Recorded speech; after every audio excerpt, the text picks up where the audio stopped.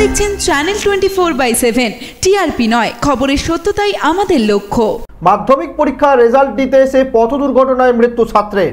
পূর্ব বর্ধমান জেলার মঙ্গলকোটের মোষগড়িয়া গ্রামের কাজী ইমানুল ইসলাম নামে এক ছাত্র রেজাল্ট দিতে এসেছিল কাশেমনগর উচ্চ বিদ্যালয়ে।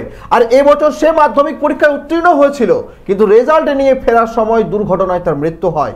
জানা গিয়েছে, পূর্ব বর্ধমান জেলার মঙ্গলকোটের মোষগড়িয়া গ্রামের কাজী ইমানুল ইসলাম নামে এক ছাত্র রেজাল্ট নিতে এসেছিল কাশেমনগর উচ্চ বিদ্যালয়ে।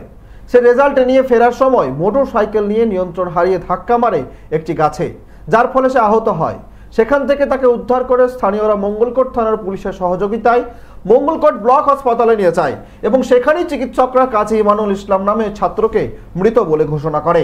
এরপর তার মৃতদেহ উদ্ধার করে নিয়ে আসা হয় মঙ্গলকোট থানায়। আর এই ঘটনার পর গোটা এলাকায় শোকের ছায়া নেমে এসেছে। তবে জানা গিয়েছে শনিবার তার ময়নাতদন্ত হয়েছে কাটোয়া পুলিশ মর্গে। বাড়ি? বাড়ি মহিষগড়িয়া কি ঘটনা ঘটলো? ও মাধ্যমিকে রেজাল্ট নিতে এসেছিল। কাশিমনগর এনে যে হাই স্কুলে বিদ্যালয়ে পড়তো। তো রেজাল্ট নিয়ে আসার পর ও রেজাল্ট নিয়ে বাড়ি যাওয়ার বাড়ি যাওয়ার সময় দুর্ঘটনা হয়। অ্যাক্সিডেন্ট হয়।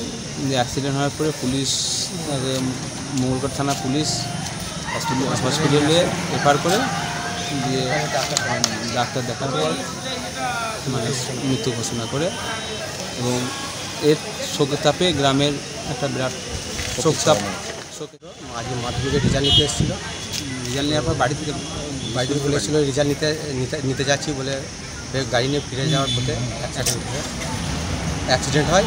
তারপরে ওখান থেকে মঙ্গলকোট থানার পুলিশ গাড়ি করে হসপিটালে ভর্তি করে হসপিটালের ডাক্তার দেখে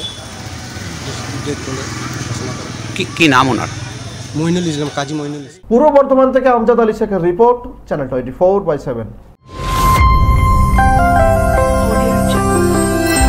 আপনারা দেখছেন channel twenty four by seven TRP নয় খবরের সত্যতাই আমাদের লক্ষ্য।